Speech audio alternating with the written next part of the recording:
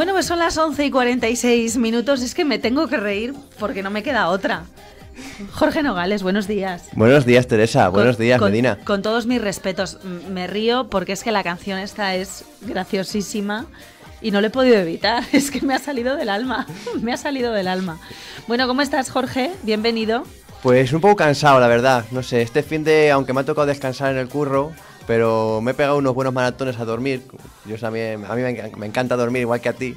¿Cómo lo sabes? Y bueno, pues ahora me toca otra vez habituarme al río, bueno, al, ritmo. normal de la semana y bueno, y la primera parada es aquí en Viva la Radio. Bueno, pues eh, buena parada. Por cierto, como siempre abrimos aquí espacio para nuestro programa Eurovisivo para ese programa que coordina Jorge, Jorge Nogales, nuestro experto en Eurovisión. Y además hoy tenemos eh, algo muy importante, yo creo.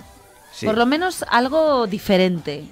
Sí, resulta que la semana pasada, eh, la semana pasada hablamos sobre que España había ya elegido a los cuatro, eh, a las cuatro coristas que iban a colaborar con Ruth en el escenario de Copenhague.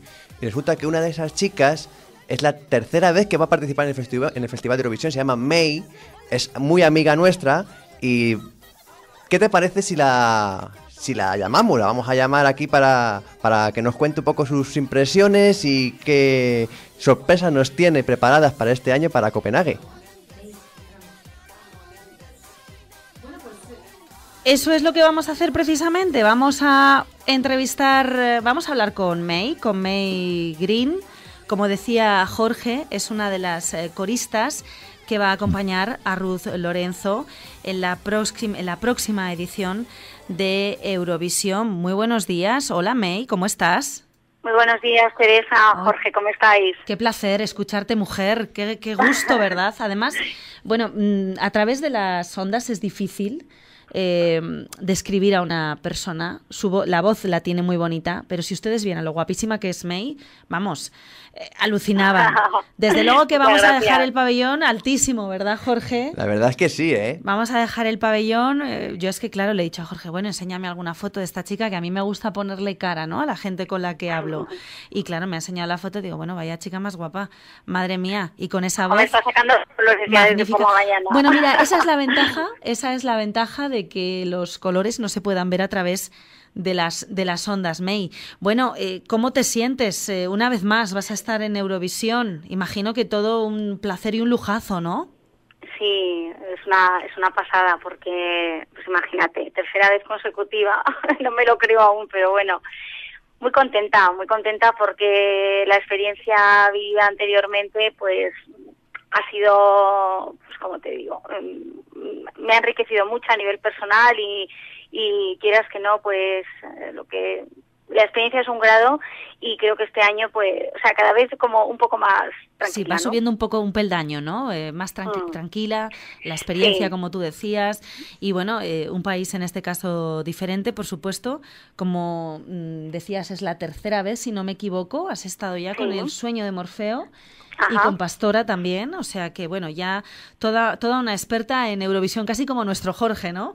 Como nuestro Jorge. de nada me veo, sí, sí, estaré con ellos eh, opinando sobre las actuaciones. Bueno, bueno, ¿y cómo están siendo los, eh, los ensayos, los preparativos? Imagino que mucho trabajo, ¿no? Para que todo salga perfecto ese día. Sí, los ensayos muy bien. Eh, en principio lo que hicimos pues ver un poco las voces de cada una, ver qué es lo que mejor mejor le va a cada una y, luego pues ver que, la armonía empasta perfectamente. Y bueno, la verdad que, vamos, yo soy muy meticulosa, ¿no? Pero en este caso que, que es Ruth un poco la que lleva la batuta, eh, pues igual, ¿sabes? Me, me identifico bastante y, y, eso me hace estar muy tranquila porque ella hasta que no ve que, que las voces suenan impecables, no, no para. Buscamos, buscamos diferentes armonías, intentamos que pues que sea que sea bonito, es un tema bonito y que pues realzar todo, todo eso. Bueno, ¿y qué le puede aportar a ese tema bonito a Dancing in the Rain la voz de May Green? ¿Cuál va a ser tu aportación, May? Pues a ver, yo voy a intentar aportar todo lo mejor con mi voz y con, con mi experiencia en el festival.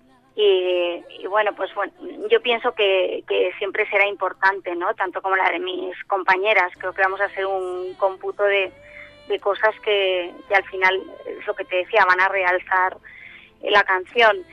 Y bueno, pues estoy súper motivada, pues me, imagino, siempre me imagino que estoy delante, ¿sabes? Como, es uno de los sueños que, ¿Sí? me gustaría cumplir, entonces eso me, me carga mucho las pilas y, y me hace, o sea, pues vivirlo con la misma intensidad. May, la verdad es que tú que has estado en otras dos ocasiones eh, representando a España, acompañando al artista principal en Eurovisión, tiene que ser todo un subidón, ¿no? Estar allí en medio con tanta responsabilidad a las espaldas, rodeada de tanta gente, tantos aplausos, tantos grandes cantantes, como tú decías, toda una experiencia, ¿no? Vital. Sí, es, o sea, es algo que no, que no lo puedes explicar con palabras, eh, yo creo que lo tienes que vivir.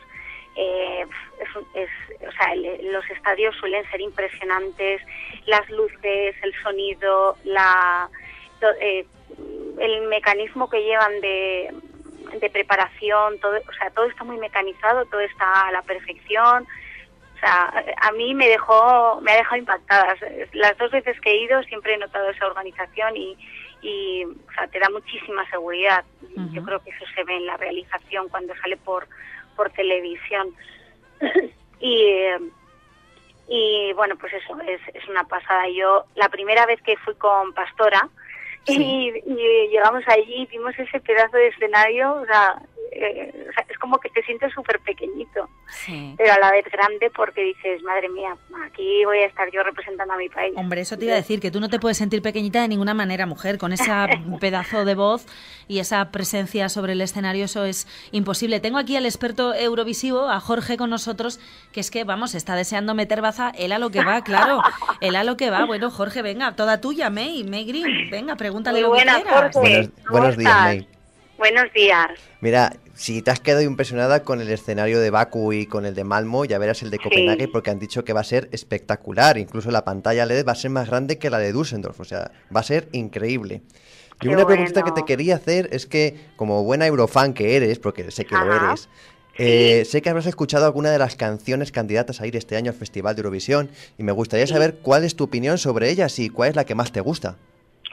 Pues mira, tengo varias, tengo varias. Eh, pues una de las que más me gusta es la cantante de Suecia, Shana. Eh, también está, o sea, Shana me gusta, me parece una balada muy bonita, porque este año es como que hay muchas baladas, ¿no? Y, es, o sea, aparte de Dancing in the Rain, es una de las que más me gusta. Eh, luego Armenia también, me parece que el chico tiene una voz muy envolvente, tiene mucha fuerza. Y, eh, y luego, pues sí, pues mira, he estado así viendo eh, otras que, bueno, alguna que me ha sorprendido o que me, no sé, un poco más por el, por el estilo que yo tengo ahora mismo, como me dedico más al dance y tal. Hungría, con un chico que se llama Kalai Sanders, creo que es, ¿no? Andras, Andras, Andras Kalai, sí. Bueno, es, que, es que estás hablando con, con el experto, claro, entonces. Claro, claro Hombre, yo ya te digo, yo, o sea, más que nada me fijo en, la canción. Y, y sí, la verdad es que Hungría me, no sé, me parece un tema que está bien para Eurovisión. Y tiene, y tiene marchita, es pegadizo, es comercial. Y bueno, Moldavia me parece que tiene mucha fuerza. Eh, Azerbaiyán, pues siempre hacen algo, o sea, siempre optan por baladas. Bueno, últimamente. May, escúchame, mujer, nada comparado con la fuerza que va a desplegar en ese escenario España. Vamos. Por supuesto. Eso vamos, ¿verdad? Eso vamos, que quede por delante, que sí, que hay muchos que pueden ser favoritos y que pueden ser, eh, bueno, pues ocupar los primeros puestos, pero vamos, que vayan retirándose y vayan poniéndose a la cola, que ahí va España, ¿eh? Que ahí va España.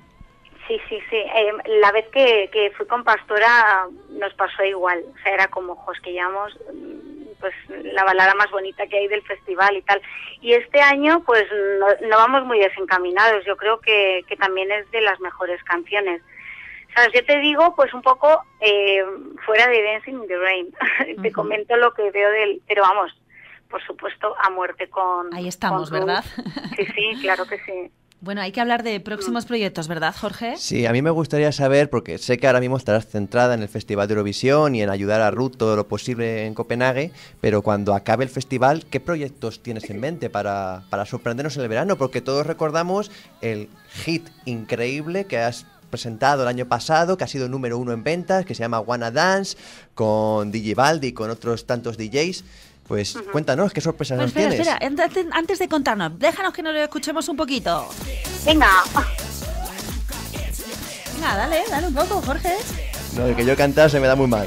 Bueno, no, no- Venga, no sé si, no sé si cantar y bailar, porque el hombre hace así, mueve un poquito el pie, sigue el ritmo. No sé yo, ¿eh? Tú, tú mucha canción, pero los toros, como digo yo, desde la barrera, ¿eh? Yo lo doy todo en el Euroclub por las noches, o sea... ¿eh? Bueno, bueno, bueno, ahí te he visto bien, ahí te he visto bien. Ay, yo espero tener, yo espero tener pilas para el Euroclub, me encantaría. Aunque sea un ratito. Ajá. A ver, pues...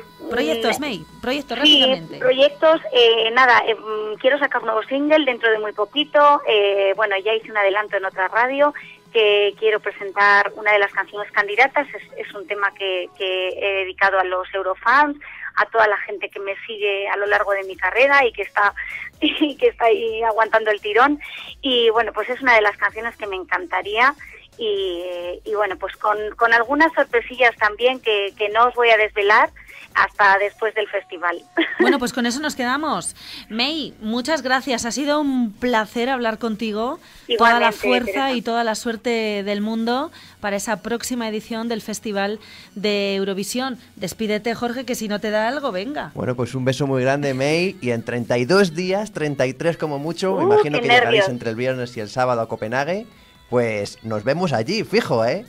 Allí nos vemos. Eh, yo quiero mandar un besito enorme a toda la gente que nos está escuchando y, bueno, por supuesto al programa y a vosotros. Eh, muchas gracias, Jorge, Teresa. Y Muy agradecidos. May, mucha suerte y mucha fuerza. Que vaya todo muy bien. Gracias. Adiós. gracias. Un beso. Adiós. Bye, bye.